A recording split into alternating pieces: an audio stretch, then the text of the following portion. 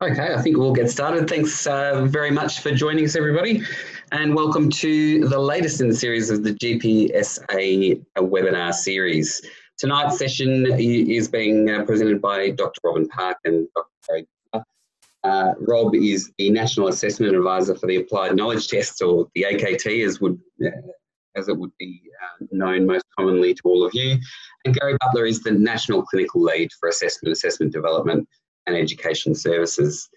Uh, you would only have to spend a couple of hours in the offices of GPSA after the results are released to understand just how much um, your registrars passing their written exams means to not only the registrars but to uh, you, the supervisors, as well, which is why we're running this uh, webinar.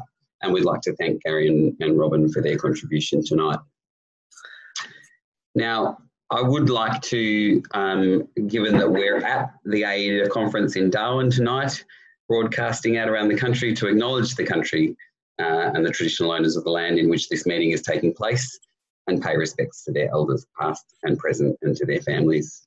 We'd like to acknowledge the RACGP. Obviously, their contribution tonight is vital in terms of being able to bring you the content that you need um, to understand how to support your registrars best and obviously, GPSA is supported by funding from the Australian Government under the Australian General Practice Training Program, so we're incredibly grateful to them. Now, without further ado, I'm actually going to hand you over to uh, Gary. Gary, are you able to share your screen? Okay, thanks, Glenn, and thank you for inviting us in. Um, I'm going to try and uh, share my screen, um, and this will go for our presentation. Good, and you don't have to look at me either. That's even better. Okay, thank you. Um, Rob, are you there? I am. Good evening, Gary. Good evening. Thanks, Rob. Um, so thank you again, Glenn, for inviting us. It's great to be able to share um, with you um, the sort of information and try and demystify and debunk some of the myths around the RACGP's written assessments, the AKT, and the KFP.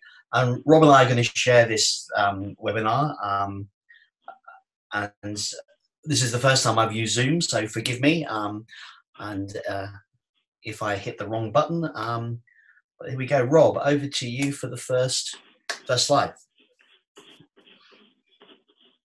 No worries. Um, good evening, everyone. Um, so yeah, so my name's. Oh, are you trying it, Gary, or do you want to go back a step? Okay, sorry. um, so yeah, so I've used Zoom before, but this, uh, but Gary's in charge. So and when Gary gets control of the microphone or control of the mouse, it's, it's always a bit fun. So uh, we'll see how we go. Thanks, Gary. But um, yeah, so my name's Dr. Rob I'm a GP um, on the Sunshine Coast. Um, so my primary job is working in clinic, um, as is uh, the majority of people who are probably listening to this as well.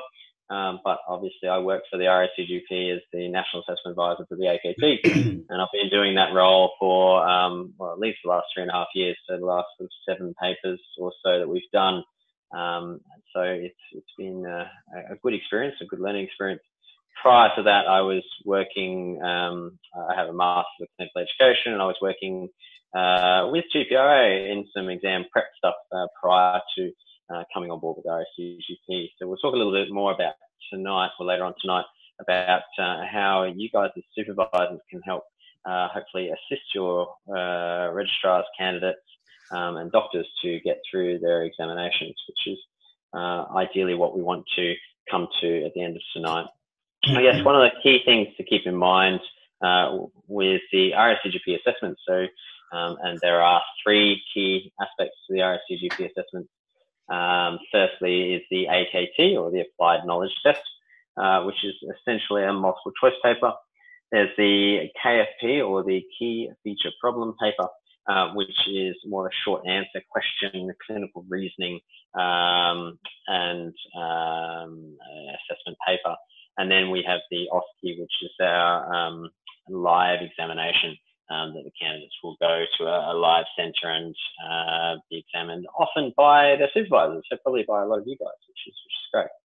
The key thing to keep in mind for the candidates when you're preparing them and when they're asking you questions and when they're interested in preparing for their exams is uh, what are we actually aiming for? What target are we looking at? And one of the key things to keep in mind is that the examinations are designed to allow unsupervised practice as a general practitioner anywhere within the country. Um, and essentially, that is where we draw the line in the sand. Um, so, congratulations, you've achieved your fellowship. You are now able to go out into the wide blue yonder or the very dry yonder currently in Australia um, and work unsupervised. And it's uh, really important that we keep that in mind when we're thinking about the level of knowledge that these candidates need to know. Um, so, Gary, can you go on the slide?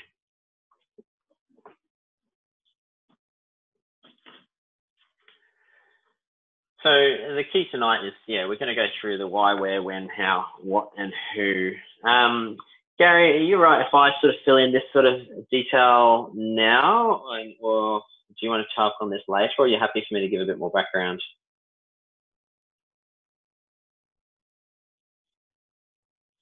You, you, you go for it, Rob. That's fine. Yeah, great. Okay. So, um, so for the applied knowledge test, to give people a, bit, a little bit of background here for those who may not be uh, or may not may not have sat the examinations, which is certainly quite possible for a lot of supervisors who've been working in clinical practice for a long time, um, or those who are uh, may have sat the exams quite some time ago. The exams have gone through a dramatic change. Um, the structure of the exam is still pretty similar um, in that um, it's uh, it's still an MCQ or an applied knowledge test. It's still a key feature problem paper, and it's still the OSCE. Um, but the way those processes have gone uh, have changed quite significantly. The quality of the paper has improved dramatically.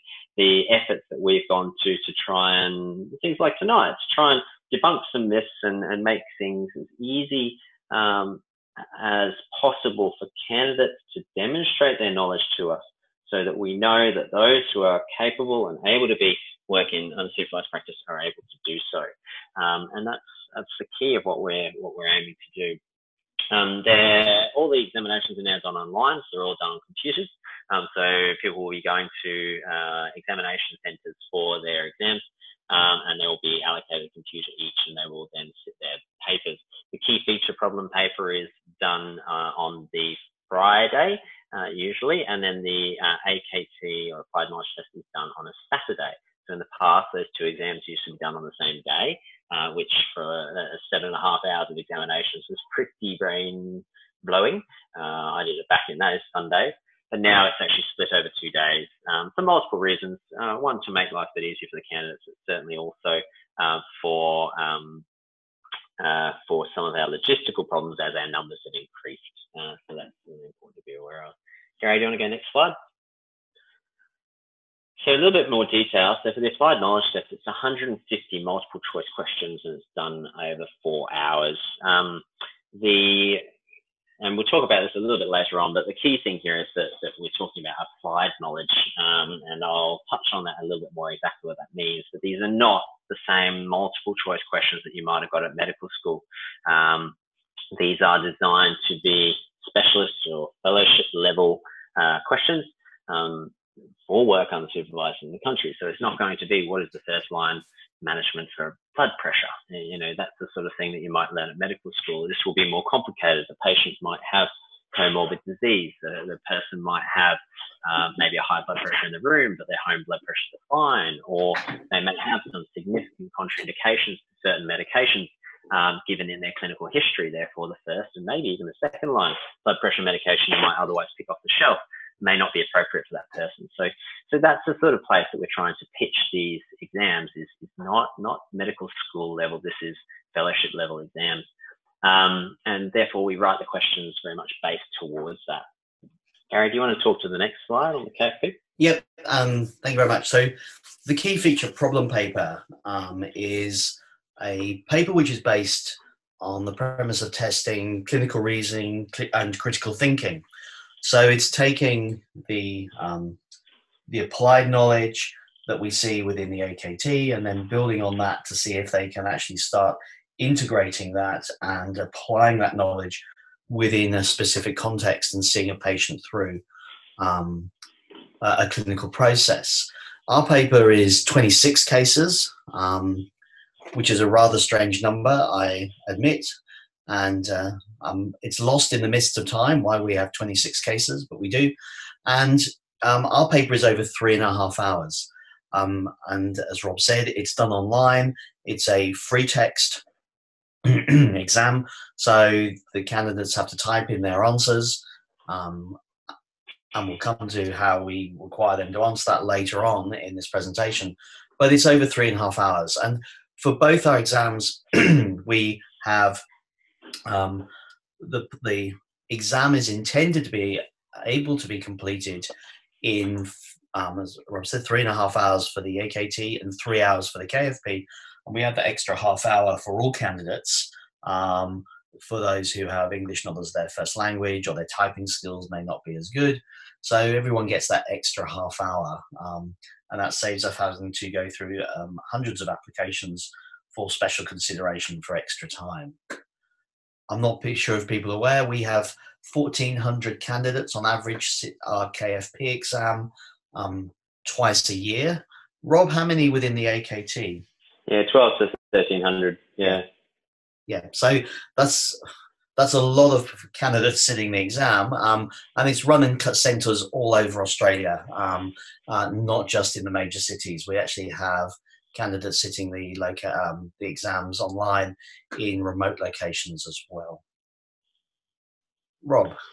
Yeah, so I'll talk to this one. So a, a, key question that we often get asked about the exams is where these come from, and um, I, am I'm, I'm still involved with quite a few sort of social media groups in regards to people who are sitting their exams. And it's always fascinating to read some of the myths and things that come through. And that's partly what we're, we're trying to do tonight. And through presenting at GP Tech, which we presented at last uh, a couple of weeks ago, we presented at the Additional General Practice Registrar Network just a week ago. We presented at the National Conference, etc. um, and we'll talk a bit more about what's available tonight. But the, the, whole point of this is to try and debunk some of those myths that are out there. So one of the other big myths that a lot of people think is that you know, these questions are written by um, people in ivory towers in, in tertiary centres or by, special, uh, by subspecialists or, or non-GP specialists.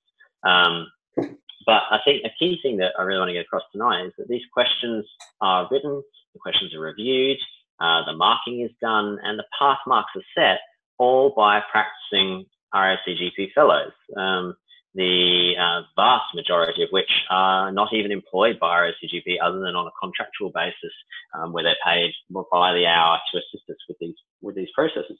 Um, and I think that's really important to keep in mind is um, these are practicing GPs. These are these are you guys. So the questions when people send in their questions um, uh, that they they want to have within the exam, these are within their realm of expertise. These are within what they're seeing. So what I see in my clinic in in the Sunshine Coast may well be different to one of my writers who uh, lives out in Darwin, which then might be different to one of my writers who lives in the middle of Sydney and works in a transgender sexual health clinic.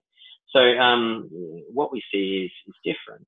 Having said that, we try and always generalize the questions across the country. So these are all um, things that uh, we will all see every day. And this is this is the other key myth that, that comes into a lot of the exams is that uh, we assess minutiae and odd oddities and things like that. What what we find interestingly, and what, what is well known in the literature, is that the um, candidate, when they leave the room, there might have been 149 questions on diabetes, but there was one maybe on myasthenia gravis, and they will remember the one on myasthenia gravis far more than they remember the diabetes, heart failure, and the uh, um, and the other sort of barn door things that comes through our door. It's interesting. We, we kind of do the same thing with our clinic when we when we talk to colleagues. It's like, oh, I had this patient who had this. We don't often go and talk about, oh yeah, my patient had diabetes. Oh, I put them on metformin. It's great. Um, you know, so um, so it's important to keep that, that in mind as well, is that we are incredibly mindful that when we write these exams, we're looking for the uh, people to know fairly in depth the common things for diabetes, COPD, and things like that. So important to keep in mind that the exams are uh, all written, reviewed, pass mark is set, and the marking is done uh, by you guys. Do you want to go to the next slide, Gary? Yep. Coming to that, and uh, each individual question. So the basic birth of a of a question is um, one of our writers will write us a question, and Gary, I think you'll be happy as well if we put up the email at the end if people are interested in becoming writers. Um, we can uh, we're always welcome to take on some more writers. But yeah, so someone across the country will write a question. It will be sent in, be reviewed by myself or one of my other uh, two MEs that are on my team. Question will then go backwards and forwards between us several times. Then it will be signed off by uh, another expert um, who's been doing these questions for a long time, worked with us for years. Um, then it will be sent out for further review to uh, another bunch of questions that people will come back. Those will be reviewed again. Um, the, all the changes will be added. New references will be added. It will be then sent out again to another bunch of GPs. Those will then come back again. The exam will then be trial run. So um, each of the questions that we then have polished up will then be tested to see if GPs across the country will be getting these correct. Um, or it's common enough knowledge that the majority of them will do well. Um, and then they will come back, they will be selected, they, the exam will be sat. After the exam is sat, uh, we then have 22 GPs flown in from all over the country to come and sit down in, in Melbourne for an entire day for a very fun eight hours where we discuss each individual question in turn. They will have had time to read all the questions, review them, read all the references, and check them all. Um, so by the end of the day, oh, plus all the extra emails and comments and questions I get either through social media or emails directly to RACGP about this question, that question, and the other thing.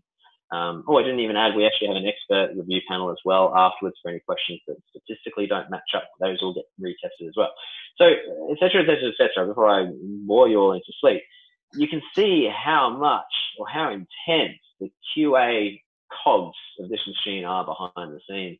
Um, and all of this is essentially independent of Gary and myself, um, in that we, we, we have to keep it independent and separate away from ourselves. So there's no um, question of, of bias or manipulation of results.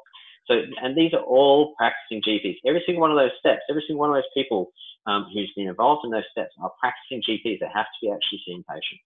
Um, so, um, so that's the sort of level of rigor uh, that goes through into each and every individual AKT question. So 34 different RACGP fellows will see each individual question.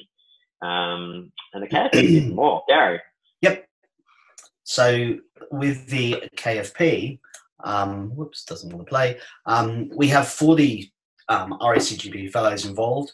Um, our, our Q&A processes, sorry, our writing processes and our Q&A processes are um, identical to Rob's um, with the AKT. What we undertake uh, is all the all the whole paper gets sent to a group of reviewers who are selected from across the country from all all facets of general practice. They give us feedback. Um, they let us know if they think it's an appropriate exam, it's fair, and we've covered across the curriculum and sampled appropriately.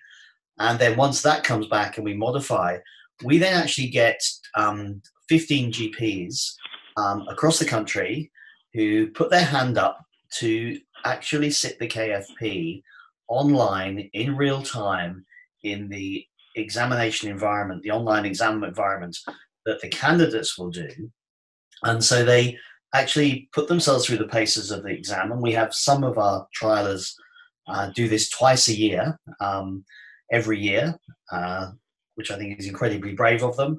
And the purpose of doing that is to make sure the questions work, because it's it's it's actually very difficult to write a good KFP question, and so often the answers the answers to the, the that the exam writer might give us are because that's the they have an idea where this case is going. But when you come to this question and this case without the knowledge of where the question is going to end up, sometimes you find candidates go down a very different path. And the question can go down a different path. So, one of the purposes of trialing the exam with our GPs is to actually make sure that the questions function. And once they've all completed, um, we mark their papers um, we do not give them their answer, their their scores, but I can say, um, as you've heard me say, maybe at conferences, I've yet to refer anyone to AHPRA, but we we we really value their time in doing it, and I think it's incredibly brave. And and as Rob said, if anyone wants to get involved in any of the assessment processes, we'll put the uh, email up at the end where you can contact us.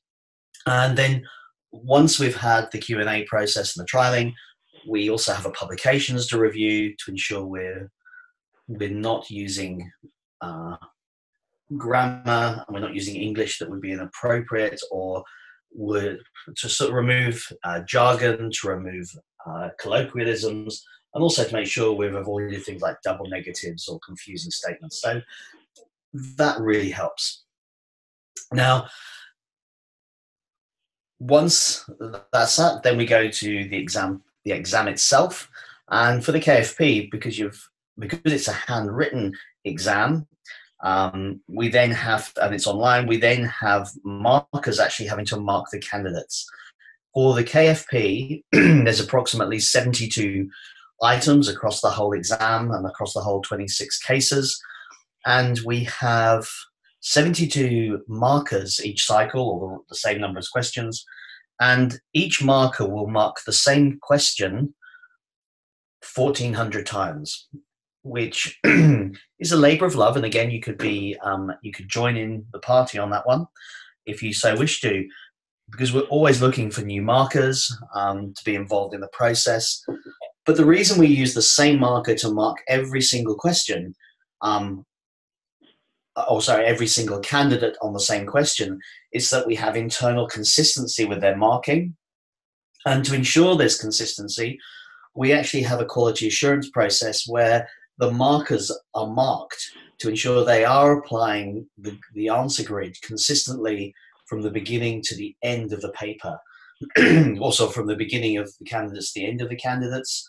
And if there are, if there's any inconsistencies happening, then one of my superpowers as the National Assessment Advisor is I can stop the marking and we can then have a discussion with the examiner.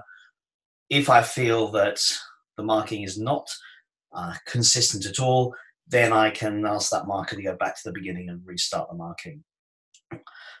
so we know that well, we've never had to do that, and we actually know that our markers are consistent across all 1,400 candidates. And that's really important to know because often when candidates fail their exam by two, one, two, three percent, they often will appeal, um, hoping that they'll manage to get an extra one percent to push them across the line the first thing is an, an appeal will never change the outcome of your exam, um, but also there are multiple quality assurance processes in place after the exam to make sure candidates, the mark that the candidate get is truly the mark that they have. Um, and we'll talk a little bit more that as we move on. So, Rob, I think yeah, so, I'll speak to this. Um, yeah. Yeah. So as you may have seen through either the public reports or from um, discussions that you may have heard, the pass mark for each exam changes from cycle to cycle.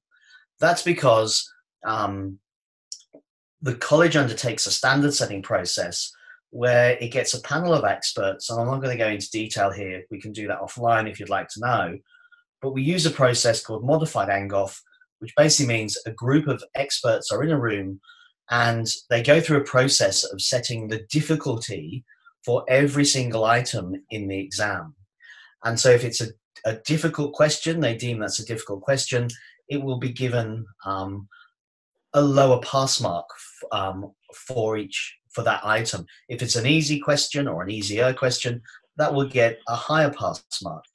And that way, the the total the, the mark of the whole exam is effectively the the the average the mean of all of those pass marks so we have all these people in the room who are all fellows and we select from across the states and territories um, and across the different um, environments of general practice and they come together and they effectively set the difficulty of the exam.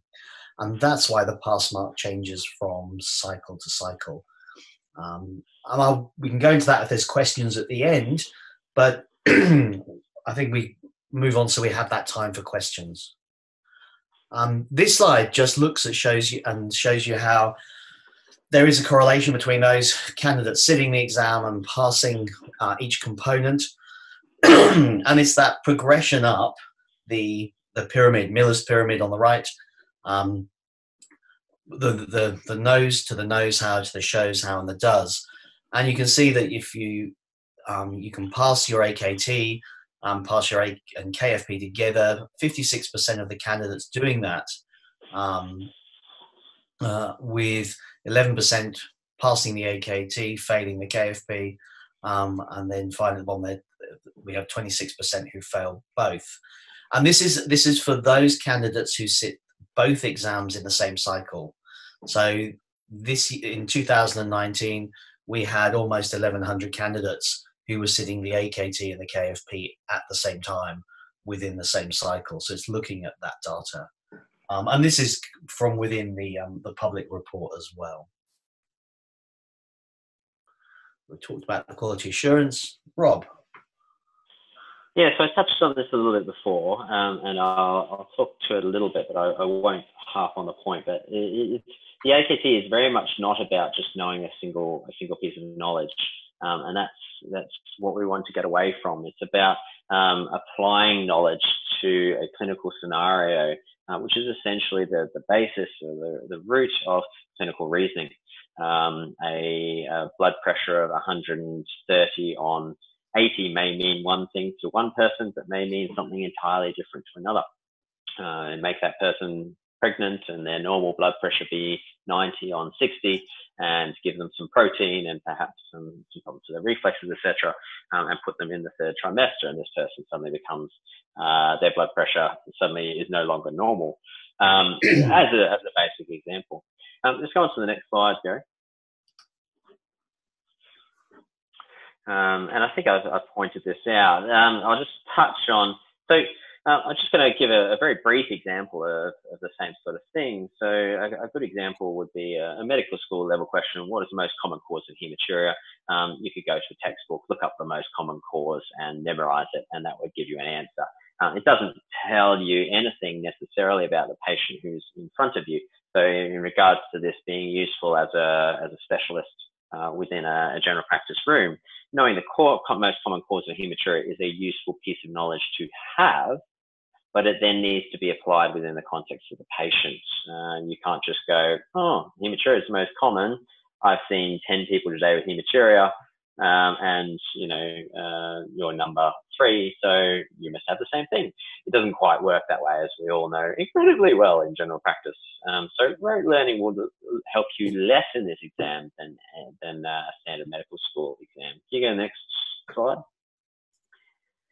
And the next one, Matt.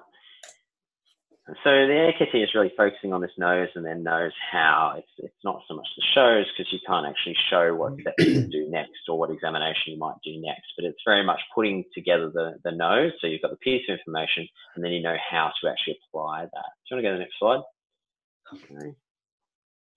Um, oh, this is going to be awkward. You're going to have to press it a few times. So, for That's example, okay. So, so okay, so for, I can't control it.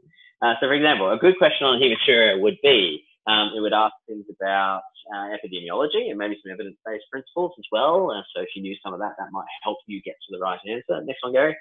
Um, it might ask, it might have some bits requiring uh, knowledge regarding what you might see on a dipstick or what you might not see on a dipstick. It requires some understanding of anatomy. So is the bleeding coming from upper or lower possible causes? Is it glomerular or non-glomerular? um, which comes to the pathophysiology and which diseases might occur in the upper tracts versus those that occur in the lower tracts. Um, and it might then also uh, require some understanding about what comes next, what the specialist might do, what what do we want the specialist to do as GPs? We we decide where our patients go and what what sort of test investigations we want done. We don't just say, oh, this person's got blood in the urine, quick, send them to a urologist. Uh, we as general practitioners and as uh, unsupervised general practitioners, uh, we need to be able to work these patients up appropriately um, before deciding or asking our subspecialist colleague, colleagues uh, what we'd like them to do. And I think it's really important to keep that in mind. Um, if we just go to the next one. So um, this is just a, not actually a question, but this is one that I've just plucked out or wrote uh, a little bit ago just as an example. So uh, Paul Young, 85 years, had some dysuria and urinary urgency for the past week. Today, nose and urine appears red. Paul smokes cigarettes, is a drinker, um, and he takes some Ramipril. So, for example, just in this simple little STEM, um, we've got um, the question is what's the most appropriate initial investigation? So we're not even asking for the most uh, for a diagnosis. So what we're doing here is the anatomy. So as we said before, is this upper or lower tract? You might consider that in regards to which investigation you might choose or what you might want to do next. Um, you want to think, okay, this is a male who's 85 years old. So blood in the urine for a, a male who's 85 years old going to be incredibly different to a 22 year old who um, recently had sex and now has you know frequency dysuria um, and um, has no uh, small amount of blood in the urine. The smoking and alcohol, etc., you know, all leads on to more complicated factors of TCC or transitional cell carcinoma, for example. Um, EBM, so you know, if you're going to do a dipstick, is it going to be sensitive and specific enough? You know, what what is going to be your pre-test probability for this person? So, you know, if this person you know, you do the dipstick and, you know, his urine appeared red, but the dipstick says, oh, no, it's not blood. Mm, is that going to be enough for you to happily sleep at night to say, you know, this guy doesn't necessarily have TCC? Um, you know, was your dipstick right? Um, pathophysiology, so the duration. So, you know, the duration of his illness will, will give some guide to possibly what the cause was, and therefore that might guide your next thought in regards to investigation um, pharmacology. So we might throw a drug in there and that might relate to, to something to do with hematuria. Um, in this case, less so, but certainly something you can consider. Public health. So if this was a, you know, say the investigation was the next choice, you know, MRIs are lovely. Everyone wants an MRI. Let's go for an MRI. Um, but again, you know, you need to think, okay, well, but what are the costs? What's the cost to the community? What's the cost to the patient? What's the cost in time to your local machine, taking away from people, um, et cetera, et cetera, et cetera. And you can sort of see how you know, a simple question on hematuria can have a lot of other aspects or application of knowledge to it, which I think is really important to be aware of. Uh, so Gary, you can go next slide, and then um, I think I'll hand back to you the slide after. Yep. Okay. The next one. Yep. Yep. Okay. So when we look, similar to Rob, as we look at Miller's pyramid, the KFP we know uh, hits the knows how in the pyramid and also hits starts to encroach on the shows how because we're asking candidates to actually, for want of a better phrase, uh, think aloud and write down their clinical reasoning processes um, and what they think are the most likely differential diagnosis, the key investigations. Um, so we're actually getting them to show us how as well as know how. And if we think of we haven't got time in this presentation to look at the whole of clinical reasoning, um, the process, um, but I will touch on something, some resources shortly. But if we think of tr the tree that's on the right of this screen um, as uh, an undifferentiated problem, so as we, um, and the key features can be defined as sort of unique challenges or steps or decisions um, in the resolution of a clinical problem. And the, the the KFP seeks to assess that process. So, if we think of um, this tree being, in Rob's case, uh, uh, say hematuria. So hematuria is the the big broad uh, trunk at the bottom of the tree. As we move towards a diagnosis, we go through critical steps within the history, within the examination, investigations, and we progress from the trunk up to the final diagnosis or as close to the final diagnosis as we can get. And we move so from trunk to branch to main branch to branch to, to twig to finally to twiglet. Um, and that could be our, our differential, our final diagnosis. And each of those stages where we hit um, a fork in the branch and in the twig is effectively effectively one of those key features. Um, and as I said, the KFP is trying seeking to assess each of those stages or parts of those stages because no case is ever going to go through every from woe to go, from examination or sorry history through to final resolution of the problem because it's very difficult to write the KFP. It's also um, very easy if you're not careful to queue answers in prior down the case. So we're actually looking at small snippets through um, a clinical process. Um, the content of the KFP, um, similar to the content of the AKT, we draw from the RACGP curriculum. We're looking to assess the domains of general practice, and we're increasingly looking at or expanding the domains that we're assessing because we're, we're actually developing some quite sophisticated questions around professionalism, around practice processes, um, around self care for GPs. Um, so we're moving beyond just domain two of uh, professional knowledge and skills. The other source for content is Beach. Now, we're fully aware Beach has closed down, but over the 10 years of Beach, there was very little shift in the presentations um, across Aust- general practice, across the whole of Australia, um, other than potentially within the mental health arena. So we so there's been some stability to the demographics and also to the, the cases presenting. So we use Beach to give us the a, a sampling process from the curriculum, and there is one particular chapter in Beach which I I feel is very key, particularly for the KFP, and that is the is chapter seven, which are the problems managed, um, and then it breaks that down into the most frequent problems managed, the new and acute, and the chronic. And what I organised um, from that chapter was this spreadsheet, and this is just a subsection of it. And I took everything that they listed there and cross-referenced it, whether it appeared in frequent, new and acute, or chronic. Because what I wanted to ensure was we break this myth that the KFP assesses um, esoterica, it is it assesses minutiae, and it actually reassure candidates um, and the profession that we are assessing what walks through the door. So the majority of the KFP cases are drawn from this list within chapter seven of Beach. And it's a very good place to start for candidates as a as a, a source for either a, a reflective tool so they can assess their confidence on each of these conditions. They can use it as a revise a revision list, a learning plan um, as well. But it's it's a it's a good it's a good springboard into their revision and their preparation, and also for for us as supervisors to actually look at what we need to be ensuring we cover and we when we have our um, our registrars in the practice. Obviously, not all the cases will come from this list, but the majority will. Um, because we also want to cover those cases, such as self-care, self-care as for ourselves as professional practice processes, uh, evidence-based medicine, um, uh, professionalism, uh, legal frameworks. Um, so there will be those, but often we will we will have cases which will, when you first read them, you think, oh, this is not this is going to be a really difficult case, but it springboards into um, it's a way of entering into different domains. So one of the classics, uh, there's a, there was a, I'll use a question because Rob wrote it, um, and it was in the last KFP exam. There was a case that started with a mother asking about the side effects of a particular childhood immunization.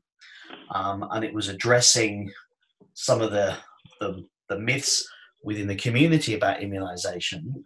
The second part of the question was the child um, having a reaction immediately after the immunization and how would you manage that situation in practice, that acute situation.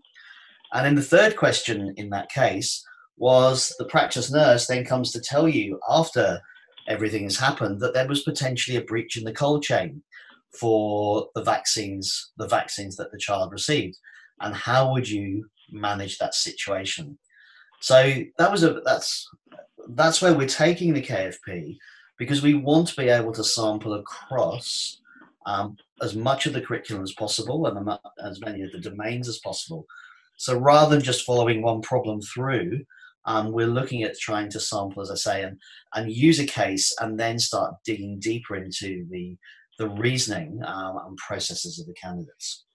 Sorry, Gary, just um, two quick points. Someone yeah. is just asking what BEACH stands for and what, what that was. And um, the other one is just time. We're going to run out of time. Okay. note. So we'll have to speed up a bit, I think. okay. My trees are in the rainforest because that's where I live. So that's my answer to that one. But yeah, absolutely. But we need to think Beck, Yeah, where is the tree located? Um, uh, another not so much. Not... We'll come to that later on. So yeah. the other thing that I will just cover here is extra responses, um, because one of the things that the, the KFP paper is about is making sure candidates can answer um, and respond to the questions in the context of the case. So again, it's not an all-cause list of hematuria. It's about a list of, uh, or it's, it's them approaching the hematuria in the patient and the case that's given. So have they got the right answers and the right differentials for the, the demographics of the pa- patient or the exact presentation of the patient? And so one thing we do is if we ask for four questions, we want four answers. Sorry, four answers. We if we ask for four answers, we want four answers. It's amazing how many candidates just want to dump all their knowledge on the paper and then move on to the next question. And that's that's not what we're after because that doesn't tell us that they can practice safely. It tells us they know a lot about hematuria, but it doesn't tell us if they can apply that knowledge and treat the patient rationally, yeah, both investigate um, and treat rationally. So if we give, here's an example from a recent paper. Um, so this is what candidates were asked to do. They were asked to give us four answers. Here is the answer grid to that. those in green got a, a mark and those in black got zero marks. so that was the marking grid. Here is the answer to this question um, by a count one candidate. And this is actually taken directly from the paper. So on the left, um, labeled one to four, are the candidates' answers. So just have a think. What I would say is, how many answers do you think this candidate has given?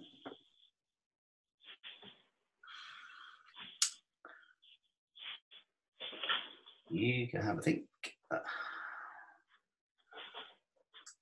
Answer and here, here there were 11 responses.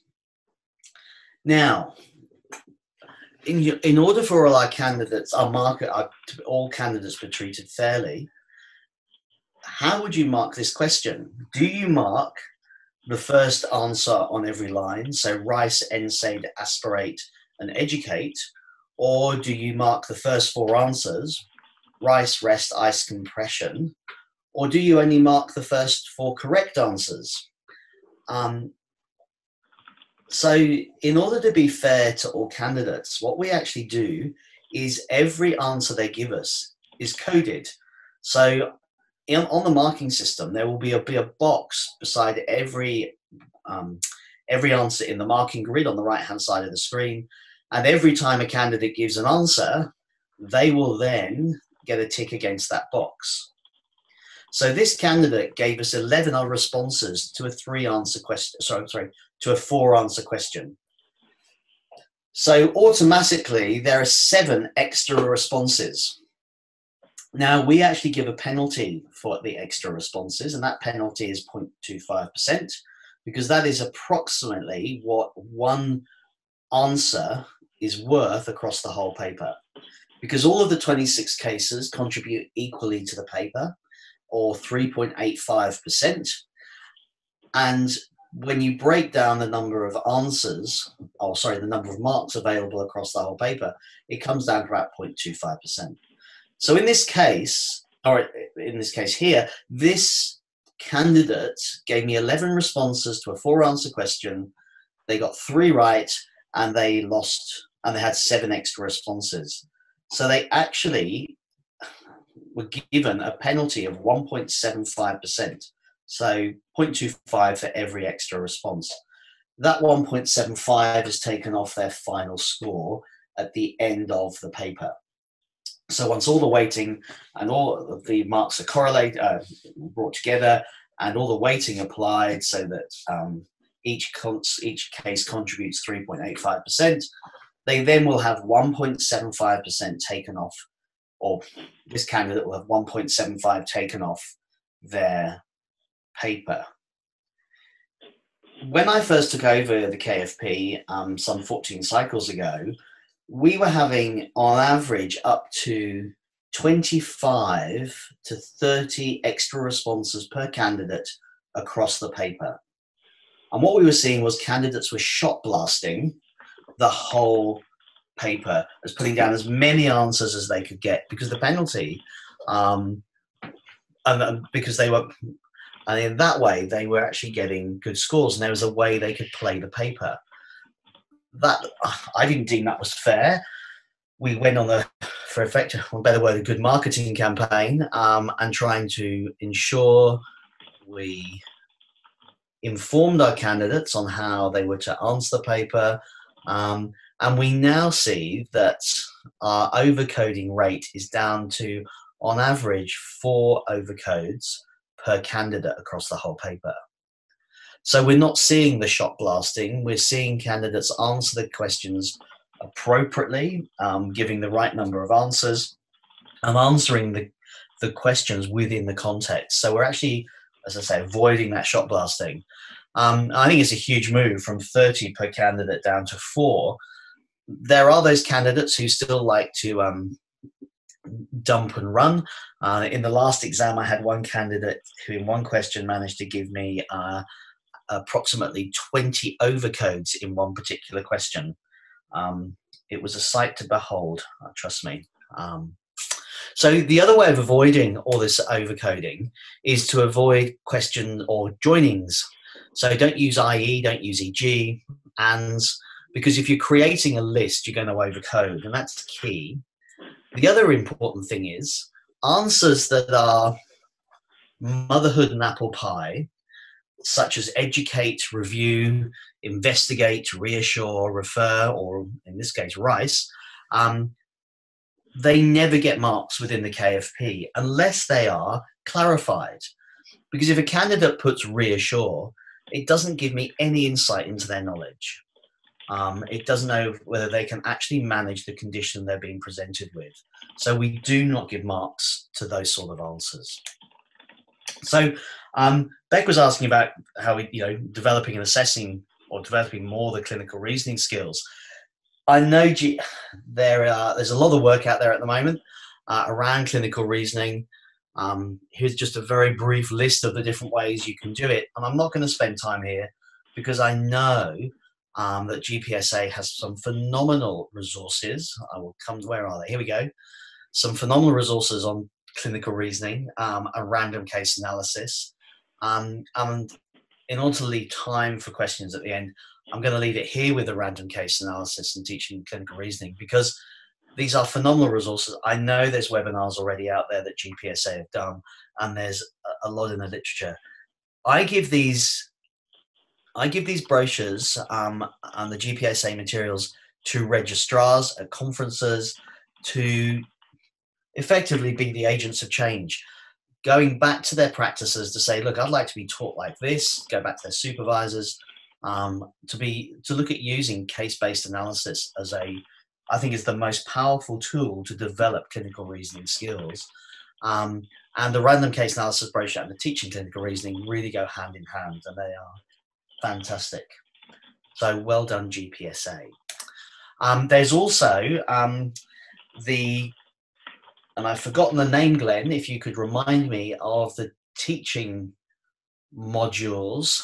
Um, and I've gone completely out of my head then, um, which I saw for the first time at the GPTEC um, conference this year. Um, and they are an amazing resource for teaching on specific conditions, say acne, heart failure.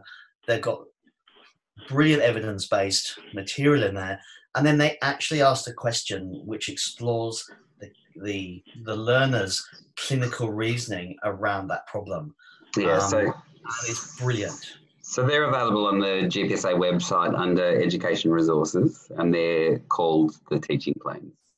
And again, they've been based around, developed by uh, GP supervisors, and they've been um, developed around the most common um, cases uh, yeah. that registrars are likely to see in general practice.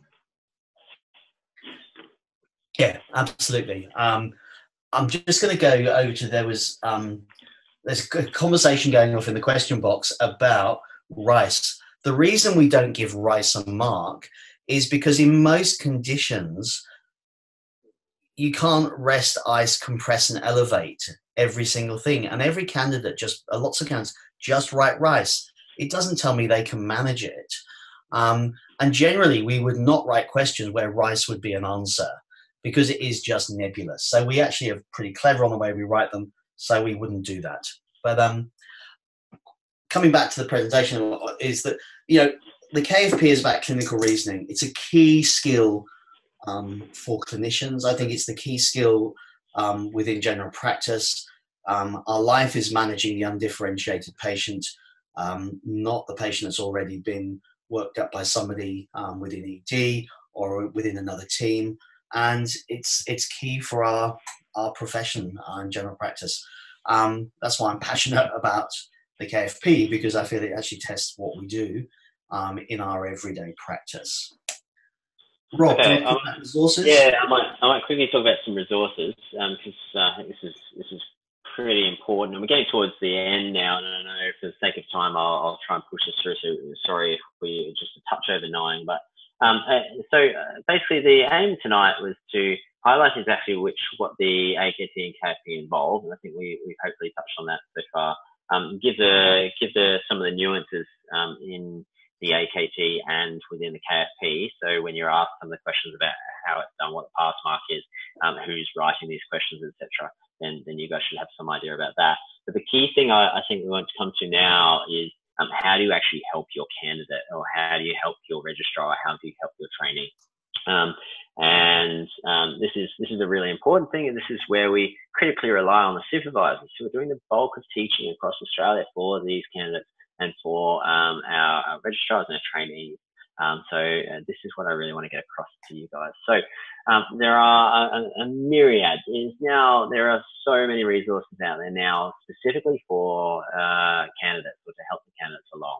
So each individual exam, um, the RACGP website. If you go to the RACGP website and you look up uh, exam support program or ESP, if you want to write that down, the exam support program, you can just Google it. It will come up with all these things in one place. Um, so in there, there's the public report. So at the end of every exam, we actually go through, Gary for the KFP uh, goes through quite quite detailed description of each individual case and what it was involving and, and uh, what were some of the topics. And in there for the AKT, we give some example questions. We talk about what, what people did well, what people didn't do well, and that's a really important resource. Um, the ESO modules. So these are, sorry, just go back a sec. Um, okay. I think it's more on that slide. Um, Oops, sorry. And then we'll go to uh, yeah, so um, we'll just hold off on the pictures for the moment, I'll go through these. So the ESO modules, just quickly. So these are on uh, GP Learning. So everyone here currently um, who's an RACGP fellow has access to these.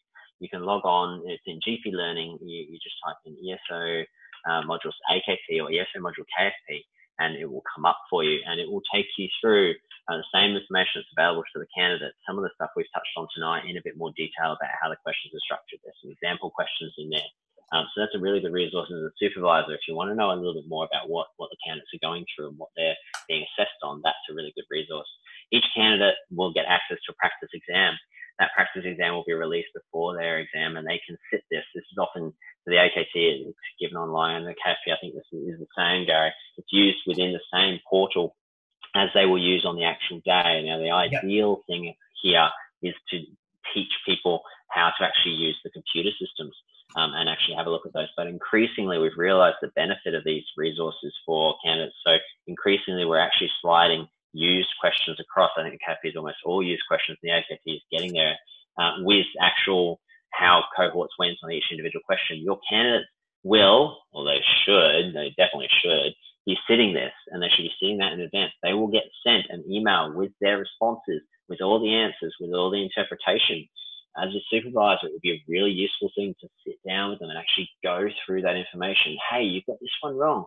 Why did you get this wrong? Is this something that we're not seeing? Is this something we haven't talked about? What nuance here do you think we're missing in your study or in your clinical presentations or in our teaching sessions?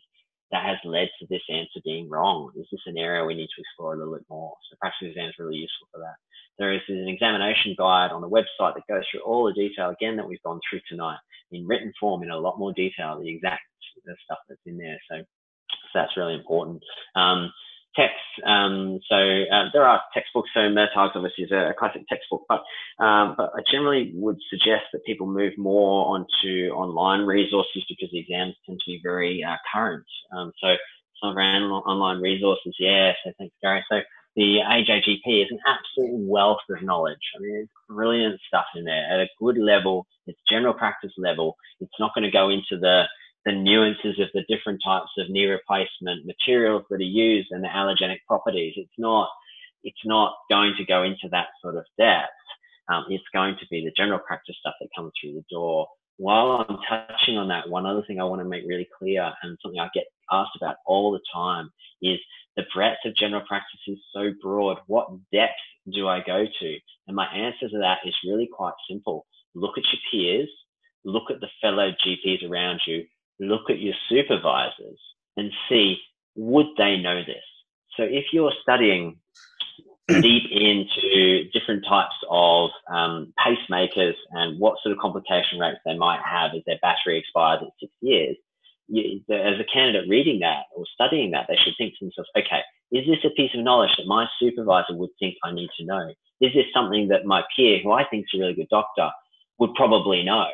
Whereas the management of, um, you know, um, uh, acute menorrhagia in a young person who's having, uh, who's in their adolescence and their periods are starting, managing something like that is going to be critically more important. And that's the stuff that comes through our door. So AJGP gives a really nice level for that. Murtagh's gives a nice, don't go in too deep point, but obviously some of the guidelines and things are sometimes a little bit off in there therapeutic guidelines is an absolute wealth of knowledge. And this is where we, we go to for our management advice, and it's based on our, our experts across the country. That, that's absolute gold. RACGP has a ridiculous amount of resources now for different things. The, the red book, the green book, the white book, the silver book. The, it, it keeps going on. There, there's lots and lots in there. I mean, that is bread and butter general practice. I mean, if you're a, a candidate going into your exam um, and you haven't read through the red book and you don't know what sort of bowel cancer screening your patient should be having, you're going to have problems because that's something that, general practice or general practitioners across the country will know. A, a good guide, um, we're not endorsing them specifically, but there's a place to start and just double check. The Australian Doctor Guide to Guidelines, which is again, you just Google Guide to Guidelines Australian Doctor, um, will actually have a list of guidelines in there. They're not all perfect, but again, they're a really good place to start. So if you're looking through the Guide to Guidelines and you go, oh, there's the um, chronic kidney disease guidelines. I haven't actually looked at those. Or, oh, I forgot to double check the uh, diabetes management handbook. Oh, I need to go back and look at that. Or COPDX. You know, if you're missing these big ticket items, then you're going to have problems in both the ACFE, the KFP, and the OSCE, and in seeing patients every day. So that's really important. The other thing on that same note, um, I know I'm helping on point, I'm going as quickly as I can, but it's really important to um, think about what your trainee or your candidate knows and what they don't know.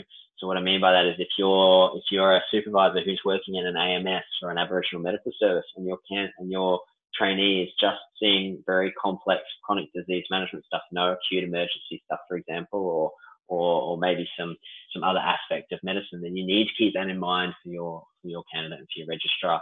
And you need to think, okay, I need to nudge them towards studying the stuff that we're not seeing here because we're a skin clinic, or because um, there's a musculoskeletal doctor who sucks up all the musculoskeletal patients, so no one else sees those. Really, really important. Um, do you want to go on, Gary? Yep. One more slide. Yeah, so this one is is key. Uh, this is uh, a really important one. So one thing that's really really useful for candidates, and this is again something that that I think a lot of them go wrong. When I go back and I talk to candidates who who haven't been successful in the exam, particularly those who we thought should do okay, and all their supervisors say, "Hey, I can't understand why this person didn't get through," or the medical educator is like, "They seems pretty good to me."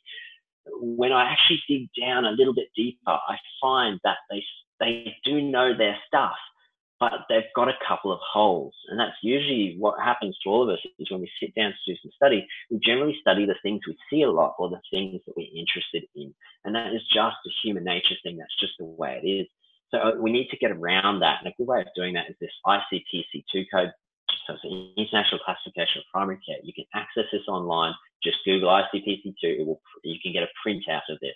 it is each of the major conditions within each of the major major uh, clinical areas. What I suggest to candidates, and you could do it with them, is that they li- they go through this list and they mark a three next to the thing they don't think they're very good at, a two next to the thing that they they think oh I'm okay, and a one next to the thing they were a subspecialist in in India, uh, for example. So if they're an infectious disease specialist who's come from overseas and they're now working in general practice, they probably don't need to spend a lot of time in questions on infectious disease, but they may not have done a lot of say pediatrics, for example. So by tagging that, what you do is you go, then go back and you go, okay, all the number threes or the ones that I'm not very good at, that's where I'm going to start my study. And you create a study plan from that because we all run out of time. It's a universal thing. No one will get enough time to study. But if you study the thing you're poorest at, you're going to pick up the most amount of marks or the most key features, for example. And that's yeah. really, really important. Anything else you want to add on that, Gary? Um, no, I think you, using this is effectively a confidence rating scale is a fantastic uh, way of doing it. I use this with um, when I have registrars in the practice. Um, I'm actually combining this with that um, Beach 7, uh, chapter 7 of the Beach, um, is also really good. Um, I was there's just a couple of questions, Rob. If I can just move on to those. Um, Basil, you've asked about making sure candidates know about overcoding. I think actually we've been really successful in letting candidates know about overcoding um, because if we you see that in the significant reduction. Um, the ESO modules, um, these are a great resource to support your candidates. Um, they're free for all members. They're, they're a member benefit. They're in GP Learning. So as supervisors, you can go into those. And actually, they're taken the KFP ones, there's two for AKT, two for KFP, two for OSCE. Um, in the AKT and the KFP ones, we go through questions and we break the question down into stages. Um, and it's very interactive. So you put your answers in, you get your get feedback on your answers, and that's that's. Um, so I've got supervisors who sit with their registrar doing that ESO module and talk through it, and it's a good way of doing it, and a good way of upskilling yourselves as supervisors in our exams beyond what we've talked about tonight. The practice exams, um, the KFP as well as the AKT will talk about uh, when they complete the KFP practice exam, they will then get an email with the question, their answers, the list of correct answers and the common incorrect answers, and then a rationale for the answers. And they will also then talk about uh, things like the overcoding, and we use that as a way to upskill.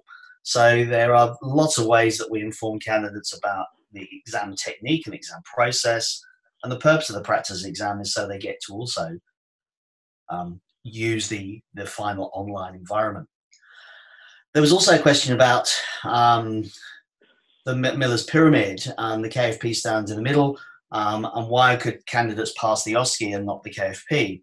Well, there was this process by which um, prior to 2017, you could put the AKT was your ticket to the OSCE. And we realized that actually that was a very poor educational process. And whilst you, there were those candidates who did hold a, an, AK, an AKT pass and then they got an OSCE pass but failed their KFP, that was actually a, a, a minority of candidates and was actually more of an anomaly. And since we have moved from from that to the AKT and the KFP together being the prerequisite, we've actually seen the OSCE pass rate go up because we're actually getting those candidates who are progressing up Miller's pyramid or Miller's triangle um, through the assessment processes as they they as the as the exams are progressing through that level of, of Miller's pyramid. So that was a change um, in I think 2016, um, 2017, where we switched to that model um, because that's a far better educational model, and then putting that onto education. Um, I hope that answers those questions, Basil, because um, you posed those.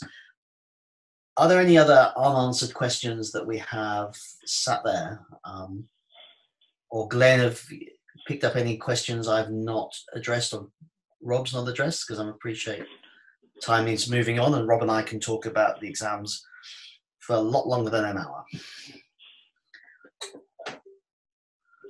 No, I actually think that you've done an incredible job at getting through all of the uh, questions.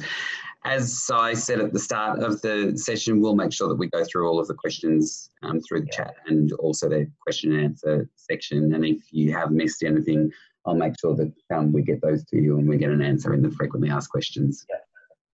That would be great. Thanks, Glenn. And um, the I'll put that up again for the uh, basically, if anyone wants to get involved in the assessment process, um, either from writing to reviewing or trialing, any of that process, then it's it's simply assessment at racgp.org.au. Um, I'll pop that up here. And you can mark it for our attention, or if there's specific questions you want to ask us uh, individually, then just uh, send it to assessment at racgp.org.au, um, and the the team will then forward that to us, um, and we will respond back to you. Fantastic. Listen, uh, uh, Gary and Robin, I would like to thank you very much on behalf of GPSA and board um, for your contribution. It's amazing how often um, we can cover the same topic and yet the feedback that we get from the KFP and AKT anytime that it's presented um, to the membership is always um, valuable. And um, as you say, the, the, the, time and effort that's gone into debunking, debunking some of the myths and also spending time on um, getting people to understand, both supervisors and registrars alike, to understand the importance of not overcoding um, has made a, a, huge difference in the sector. Um, it was really useful to hear you talk about um, the key things that you recommend uh, in terms of presenting to uh, registrars as, as a supervisor. So I think that will be incredibly useful. And uh, without further ado, I'm going to wrap up uh, tonight. I would like to acknowledge the RACGP for their contribution as sponsors of this uh, webinar and for your uh, time, Gary and Robin, and for all of you that have attended tonight, um, giving up your evening for some professional development, um, which ultimately benefits your registrars in the sector. That's uh, emblematic of the generosity of spirit that uh, GP supervisors and GPSA absolutely um, uh, value. So thank you very much, and we look forward to seeing you at a future webinar.